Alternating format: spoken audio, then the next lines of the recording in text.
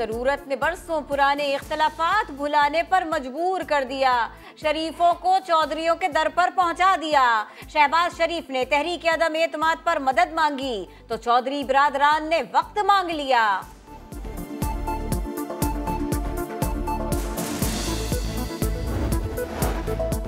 चौधरियों से सिर्फ़ चाय पानी मिलेगा। फवाद चौधरी ने मियाँ साहेब पर जुमला कस दिया। हमाद अजहर बोले, करप्ट लोग मिलकर एक ईमानदार शख्स के खिलाफ मुहिम चला रहे हैं। असद उमर ने कहा, जितनी तारीखें पीडीएम ने दी, उतनी तो सिविल कोर्ट भी नहीं देती।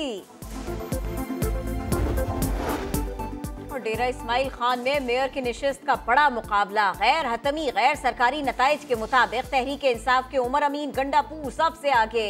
जे यू आई के कफील निजामी का दूसरा, पीपल्स पार्टी के फैसल करीब कुंडी का तीसरा नंबर।